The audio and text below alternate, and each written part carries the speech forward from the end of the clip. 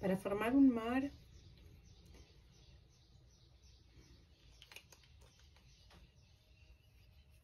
el azul ultramar,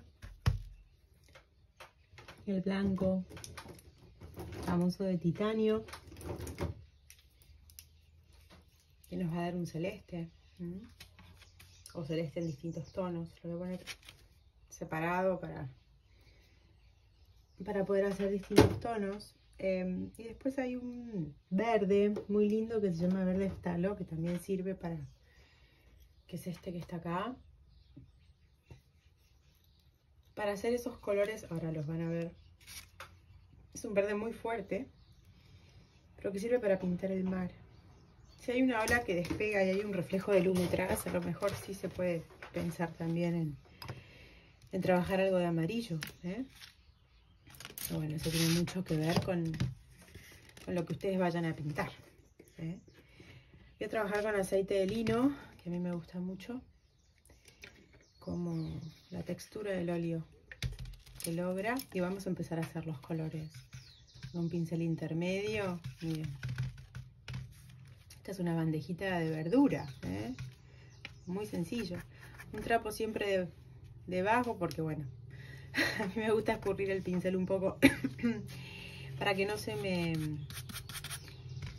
vamos a empezar a abrir los colores siempre desde los extremos. Eso a mí al menos me, ayuda a no desperdiciar tanto color y ir viendo cómo en la paleta antes de ir al bastidor puedo tener, se obtiene, está el aceite de lino, no lo ven, está acá, ahí va.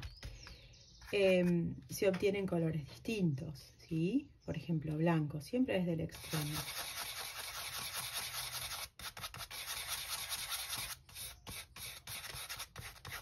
Me parece un celeste muy lindo por ejemplo, que yo quiero... Esto es muy lindo para cielos también. El azul de cobalto también va bien. Yo quiero, digamos, trabajar un horizonte incluso un poco más fuerte, puedo jugar con un poco, ¿saben de qué? De rojo. El rojo con el azul hacen violetas. Pero nada, una manchita. Porque aparte la obra que yo tengo acá es una obra eh, es un bastidor, no es, muy, no es muy grande, entonces con un poquito de rojo al azul, miren, miren en la tonalidad que le da. Es un azul violáceo. Está apenas. Escurro, sigo jugando. Me voy a, voy a agarrar más de este. Yo le llamo rosetas de colores. Pero bueno, cada uno le dice como, como le viene mejor, ¿sí? Acá tengo un celeste incluso más claro. ¿Por qué? Porque me quedé el azul ahí. Tengo dos tipos de celestes. Un azul con un poco de rojo, bastante violáceo. Y voy a agarrar el verde para que vean la diferencia. Este verde es hermoso. Es el color clásico de los mares caribeños, ¿bien? Bueno, ¿qué pasa si yo sigo jugando? ¿Ven? Verde bien apetrolado. Estas paletas de mares, paletas de mares, que son lindas para tener en cuenta.